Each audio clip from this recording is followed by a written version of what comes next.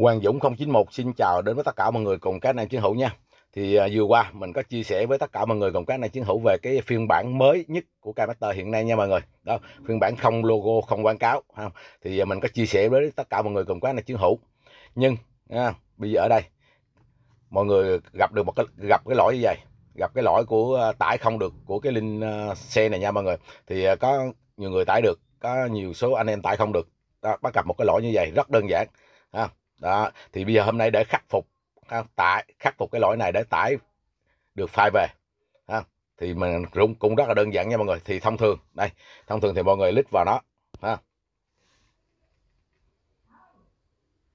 rồi, ta click vào ta tải về. Đó, thế là xong nhưng à, ngược lại ở đây, mọi người thấy không tải được nha mọi người. Đó, nào ta click vào không tải được.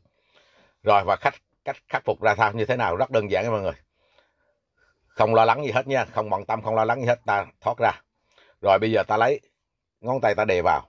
Thì mọi người thấy ở đây có cái dòng copy link không? Đó, đó ta copy cái link này. Rồi ta thoát ra. Rồi và sau khi copy link xong thì uh, mọi người tìm đến một cái trình duyệt nào cũng được. Ở đây mình sử dụng trình duyệt chôm nha. Ta click vào chôm nè. Rồi ta dán cái link nó vào đây. Rồi dán vào. Rồi tiếp đến đi và ok thì bây giờ mọi người thấy ha đó, mọi người thấy nó cũng giống như, như cái kia thôi ha. thì bây giờ vào đây thì ta lít vào ta tải về. Đó mọi người thấy chưa? Đó tại ở đây cái tiệp này mình đã tải rồi ha. Cái tiệp này mình đã tải rồi thì nó báo tải xuống lần nữa ha. Thì bây giờ ví dụ như chẳng hạn như là ta lít vào ta, đây ta tải. Đó mọi người thấy chưa? Đang tải xuống mọi người thấy chưa? Ta vào chi tiết là ta xem nè. Đó đang tải xuống mọi người thấy chưa?